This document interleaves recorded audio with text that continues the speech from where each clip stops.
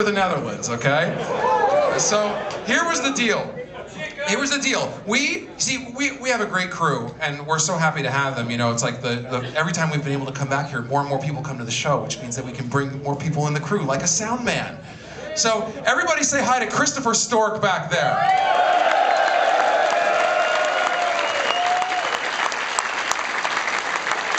We are we're so grateful to have him. And then the other person I want to introduce you to is our tour manager, Ricardo Capelli. Everybody say hi to Ricardo over there.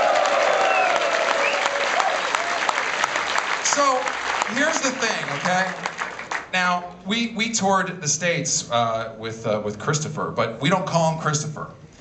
We call him by his nickname, which is Kip. I know, okay?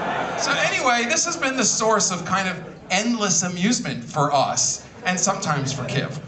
Well, Anyway, Wait, wait. Did you tell him about the last name then? oh yeah, yeah, I said as his name is Christopher Stork. Oh, yeah, right.